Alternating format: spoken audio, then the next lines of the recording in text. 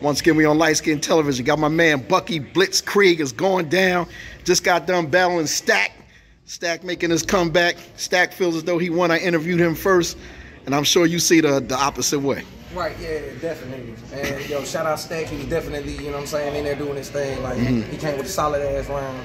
Like, his pen was really good. Yeah, hell yeah. Like uh, I enjoyed it, real talk. And the fact that it was directed towards me, and you know what I mean. That was dope. Yeah, I like. I, I just feel like his uh, he got a different type of style, but his delivery was dry compared to yours. Yeah, you know what I mean. I, I, can agree to that. And you know, I, I, like to be that way though. It was fine here, but just if if you put yourself in the mind of a stage like last week at uh, Power Moves. Uh-huh there's close to a thousand people that they they boo him off the stage.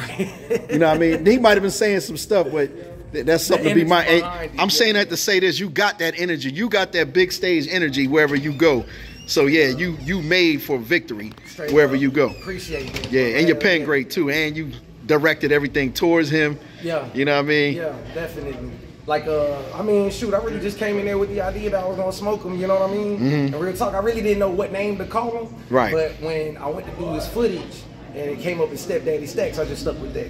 So, yeah, man. Like you had a whole scheme behind that. yeah. Uh, what percentage of truth was behind that scheme? Um, nine. yeah, that's what made it fun. It's like, oh, his baby mom. Yeah. He admitted that. But you know, yeah. when they see that on uh people who strangers to both of y'all that might see it on YouTube a month from now, like, yo, yeah, this is crazy.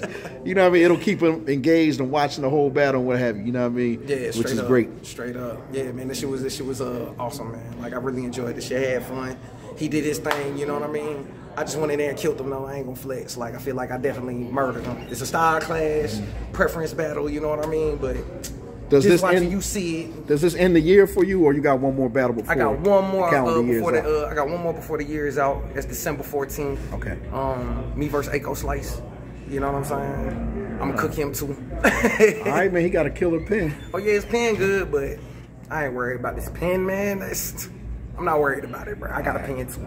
and perform.